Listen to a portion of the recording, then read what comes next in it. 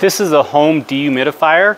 This one does uh, about 4,500 square feet. They do offer in other sizes, uh, 1,500, 3,500, and one other, I think. Um, I wanted it running so you could hear how loud it is. And then it does have a turbo mode if like maybe you just got it and you want to bring your humidity down quicker, just so you can hear the difference in settings. But I'm to turn it off for just a second so you can hear me talking a little better.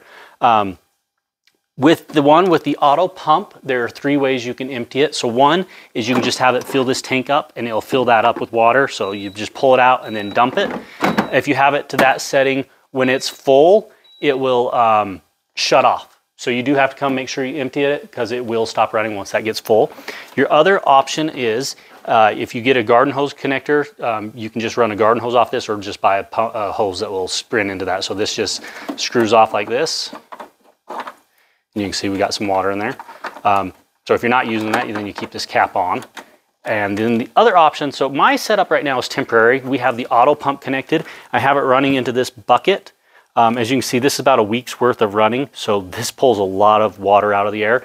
Um, I've got enough hose here. I'm gonna run it up the wall and then I'm gonna have to drill through my foundation. So I just have not got to that project yet. So eventually I will never have to touch this because it once the tank gets full, kicks the pump on and then kicks it out. So let's go over some of the features of how to turn this on and run it. So obviously it has a power button and then uh, you just press this and you see it lights up green. That means I'm using that pump to kick the water out. Um, the filter, it'll let you know when you need to clean the filter. It does that about every 30 days or so. You'll need to just take this out and rinse it off and then put it back in so you don't have to buy new filters.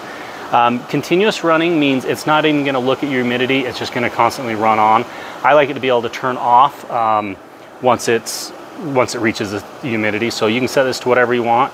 You can see I'll turn it up and it'll just shut off because it'll already be there. So um, you can set it to whatever you want and it'll, when it'll get there, it'll turn off.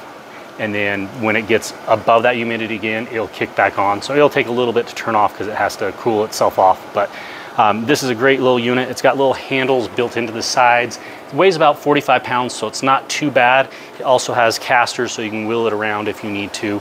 Um, great unit. Like I said, I love the pump feature. Um, you can pump it into a sink or whatever. The gravity fed one works good if you have a floor drain, or if you want, I set this up on a table and I ran it into that bucket for a little bit, but works awesome.